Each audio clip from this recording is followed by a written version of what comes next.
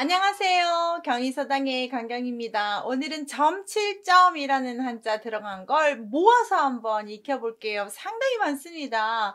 점 7점, 점을 치다 라는 뜻을 가진 한자인데요. 어, 우리 연말에, 연초에 많이 하죠. 그런 점의 뜻인지 한번 같이 보실까요?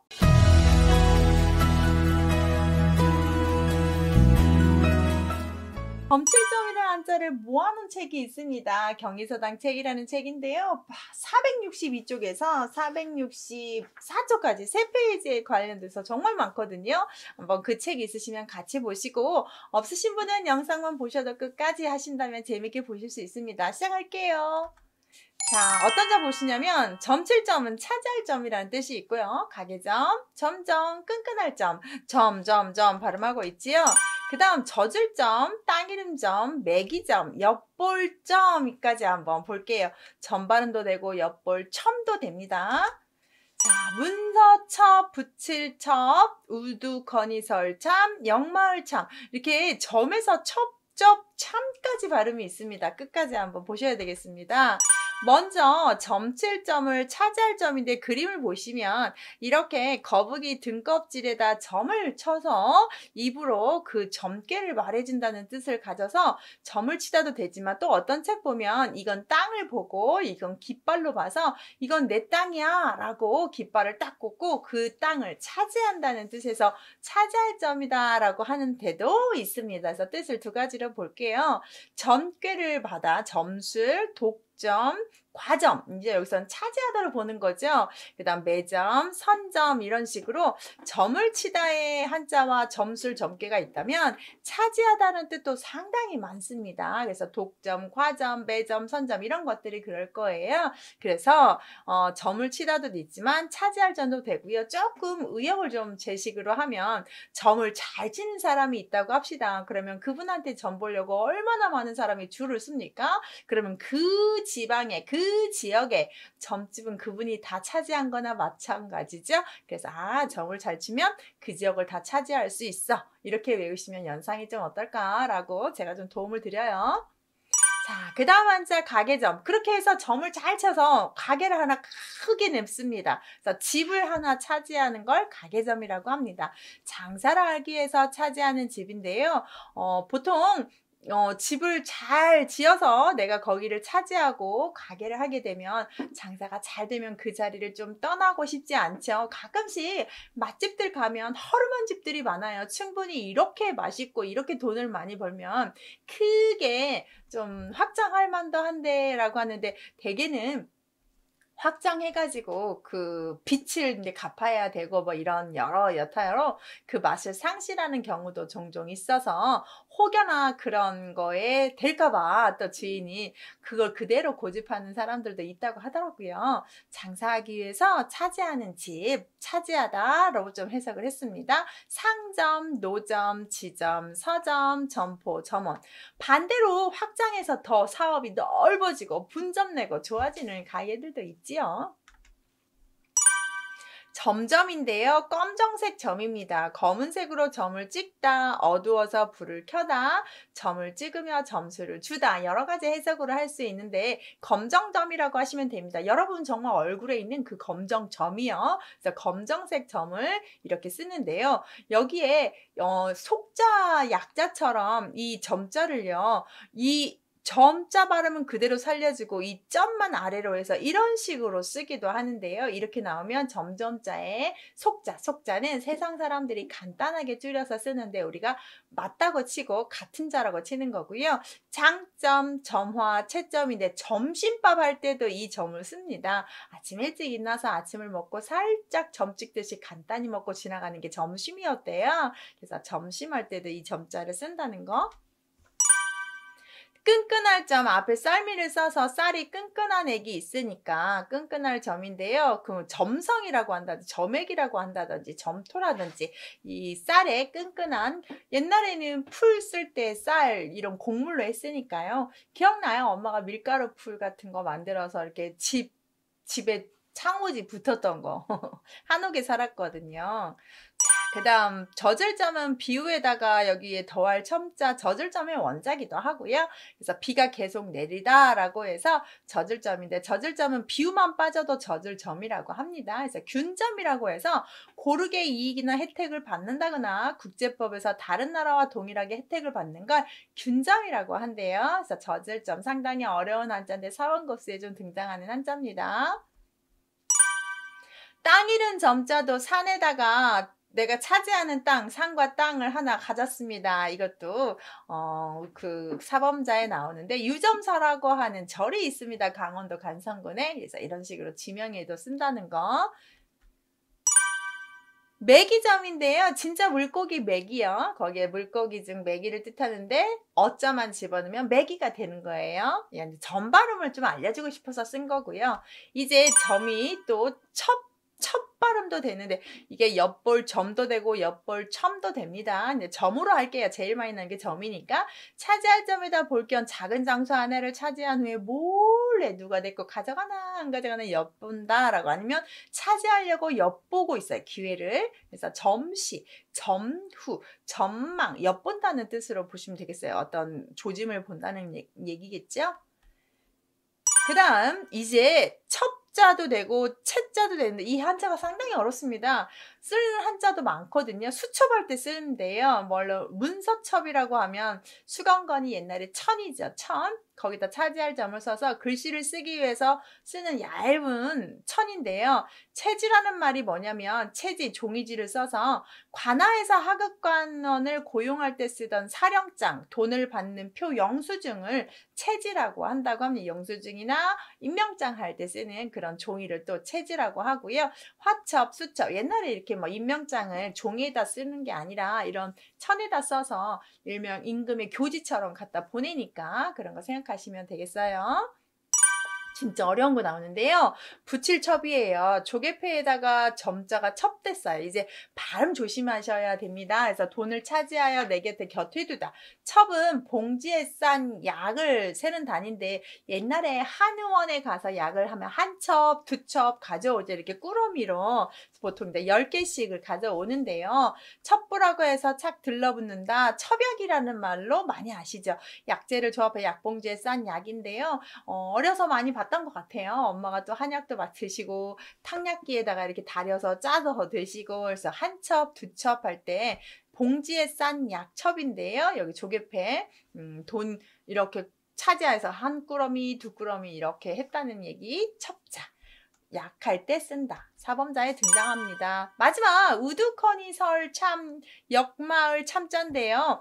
흔히 우리가 일하다가 중간에 먹는 간식을 참이라고 합니다. 그때 쓰는 참자예요. 새참이라고 하죠. 한글로 일을 하다가 잠시 쉬는 동안 먹는데 한자에 이 참을 빌려서 씁니다. 차지한 땅에 서 있다. 서 있다. 아까 제가 이 땅에 깃발 꽂는다고 했잖아요. 그래서 차지한 이건 내가 딱 쓰는 내 거다. 한숨 딱 돌리는 거죠.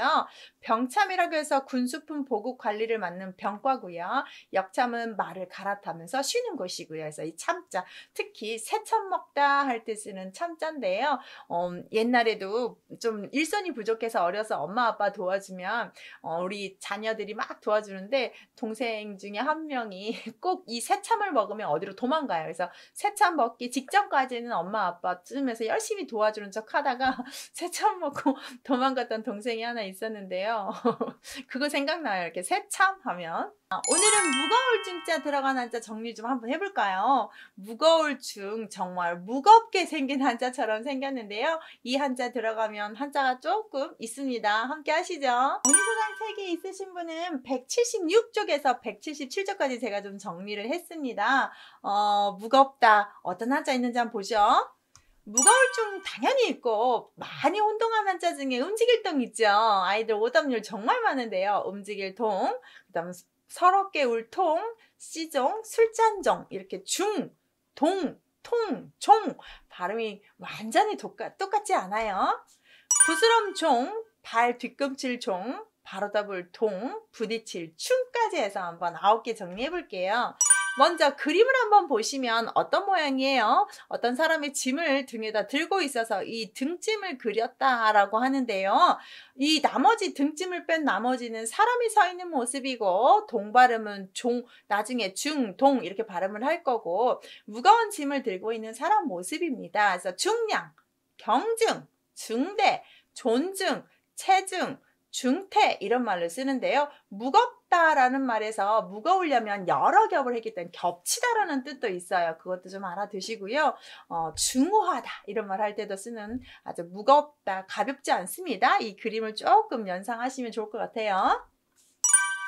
무거울 중자에 힘력을 집어넣었다면 무거운 것을 힘을 사용해서 뭐 하려고 합니까? 움직이려고 하겠죠. 무거운 것을 힘으로 움직이다는데 쉽지 않지요. 무거운 걸 힘을 써서 움직이려고 합니다.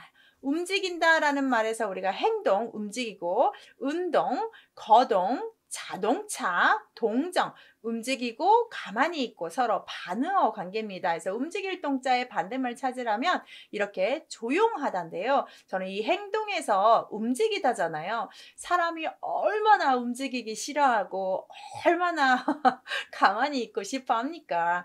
제일 무거운 게 우리의 엉덩이죠. 제 친구 중에 정말 늘씬하고 예쁜 친구가 있습니다. 언젠가도 제가 한번 얘기한 것 같은데 그 친구가 늘씬한 비결을 잘 봤어요. 왜냐면 밥을 먹는데도 저보다도 정말 많이 먹어요. 제 두 배를 먹는 거야. 그런데 제 몸무게의 반절을 나가는 친구예요. 어쩌면 저렇게 늘씬할 수가 있지? 라고 보는 딱히 운동하는 것도 없고 뭔가 관리하는 것 같지도 않고 항상 같이 들으면 나하고 나보다 더 많이 먹는데 왜 그럴까 봤더니요 엉덩이가 가볍습니다. 음식점에 가면 수저주고 물 갖고 오고 반찬 리필하고 뭔가 하려면 모두 그 친구가 합니다. 가만히 있으라고 해도 다 자기가 한다고 해서 빨빨빨빨빨 거리고요. 가만히 있질 않고 많이 많이 돌아다닙니다. 그래서 아 저렇게 많이 부지런히 움직이니까 에너지 소모가 되는가 보다. 반대로 뚱뚱한 사람들은 절대 일어나지 않습니다. 그리고 항상 손에 먹을 게 있죠. 항상 주전부리를 하고요. 그래서 이 행동이라는 거 무거운 것을 빨리빨리 힘을 써서 움직여야 어, 늘씬하다는 걸 그 친구 보고 아는데요. 알지만 또 쉽게 되지 않고 사람의 성향도 있는 것 같아요. 자, 그 다음 한번 볼게요. 서럽게 울 통자인데 여러분 서럽게 울다가 발음이 바뀌었습니다. 뭘로요? 통으로 바뀝니다. 마음이 요동치면서 힘들어서 웁니다. 서럽게 운다는 말을 우리가 보통 통곡이라고 쓰는데 여기에 있었다시피 보통은 아프게 운다로 이렇게 쓰고요. 이렇게도 씁니다. 보통은 이렇게 써요. 그런데 이렇게도 쓴다라는 거 참고하시고 서럽게 울통 은 4번 급수에 등장을 합니다. C종자를 볼게요.